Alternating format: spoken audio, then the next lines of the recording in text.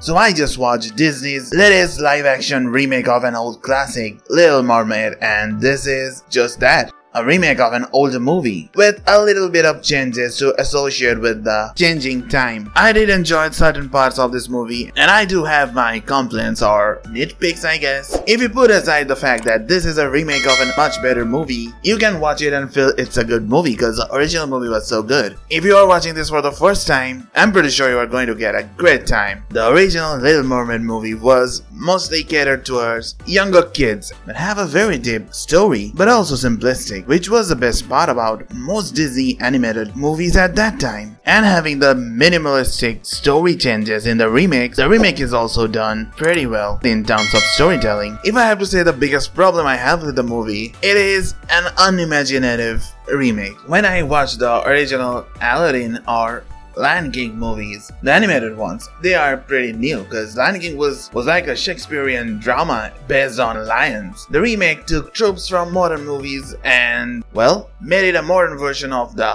old movies. And similar stuff happens in this movie. When the original Little Mermaid came out, it was about a mermaid and I'm not sure how many mermaid movies existed back then, so it was a pretty new thing. So compared to that, now you have much better mermaid movies, so in that way this movie doesn't do anything unique. It just tells a story with all sort of modern Hollywood jokes and stuff, so it's unimaginative to say the least. Now Halle Bailey was pretty good at what she does and the problem was the other characters. The animated characters had a lot of emotion, but here they have a real looking crab which cannot do emotions. They have a real fish which is also not able to show emotions. So sometimes it's only on Halle Bailey to show all her emotions. So some scenes felt kind of one way, which is something kind of bugged me. But overall, if I have to say, I'd give it a 6 or 7 out of 10 because it's not as bad as some people want you to believe, and it's also not as good as some other people want you to believe. This is just another Disney remake, and there's no doubt about it. So let me know about what you all think about this movie, and and that's it for today's video, and hope to meet you in the future.